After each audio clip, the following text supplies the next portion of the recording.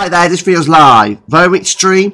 For all portents of doom, winter weather forecast UK 23. Let's video. Press the funds at the left side of the screen. Tighten the mountain digital receiving. It's 2016 pm in the evening. Hour, that's 16 minutes past 8 pm in the evening, and it is Wednesday, the 11th of October 23, guys. Let's get on this winter weather forecast right now.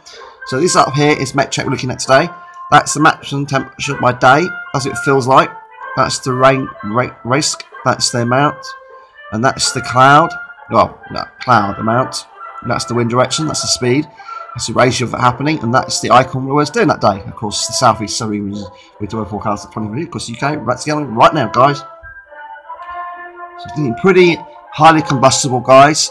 Chilly daytime temperatures for the first week of, of December. Winds to the northeast, then the winds go to the southeast, and suddenly temperatures like 11 Celsius by day. It gets quite wet and showery. You can see rainbow showers here. So maybe actually on most days, very heavy day on the 16th uh, of December. Very mild southerly winds, very mild. Looks like to be a very very mild Christmas day, guys. According to this, of course, uh, the um, you name it, guys. The southeast, some reasons we go down here, guys. With winter weather forecast. Incredible, guys.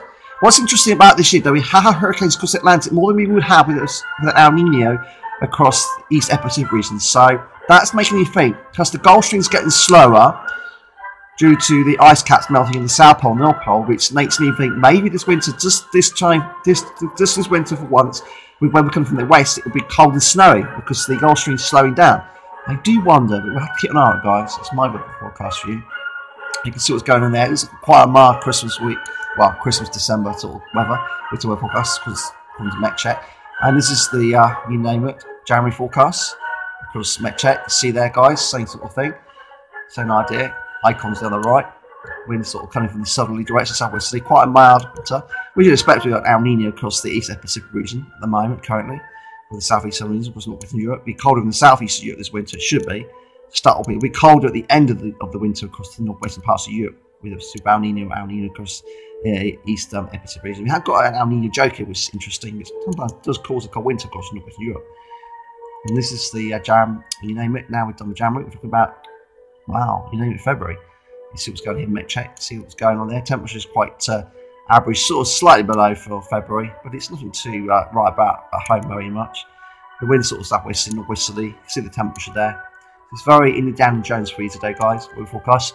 And you're talking about, uh, wow, American American weather forecast. You can see what's going on there southern and southwest weather forecast. You can see 12 to 11 Celsius about average temperatures by day, a little bit below average as we get towards the middle part of December.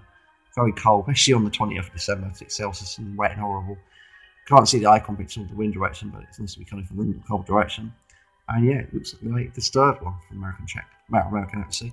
And this is the um, way you can see there, American uh, 12, um, well, American 18Z pub run. It's about very cold and westerly winds coming up this coming weekend and cold snap. So the, that's the um, wow, you name it, guys. That's the um, cold line. now. That's the autumn line. We're in the autumn air here, and that's the colder air up here, guys, coming towards the UK. Cold snap on the way across the northwestern parts of the UK, around Scotland especially, is on the way. And this is later on in October. It's very mild again, southwesterly winds.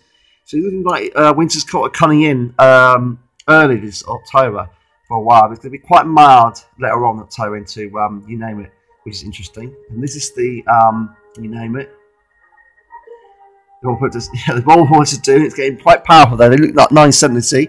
This is long range forecasting in October, so it does look like it might be quite a very powerful set of westerly winds across the North Pole up at 10 HPA, which is looking at here, guys, which needs a very, very, well, very gloomy outlook for a very mild winter if you want cold weather this winter, because North Europe doesn't look too good at the moment across the UK.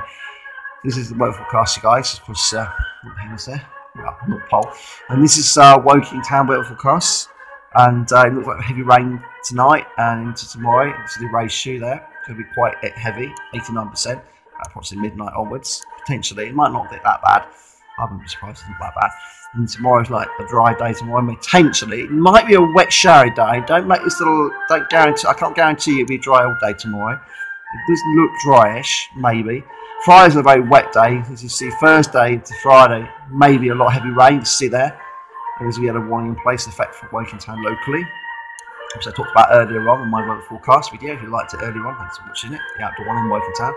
I think it's going to be day cold, highs at 12, 11 Celsius, but that's well below average, should be 16 Celsius, and there's a chance of frost this coming weekend. You see the zero temperatures there, mark right there, across Woking Town locally, this is potentially possible. And it's getting quite cold this weekend. But it does get warmer and milder in the future. 17 Celsius, so it's not over the warm weather yet across the October 23 across the Woking Town locally. I hope you like this video. Please subscribe to channel. on Sundays with the Force Speedway.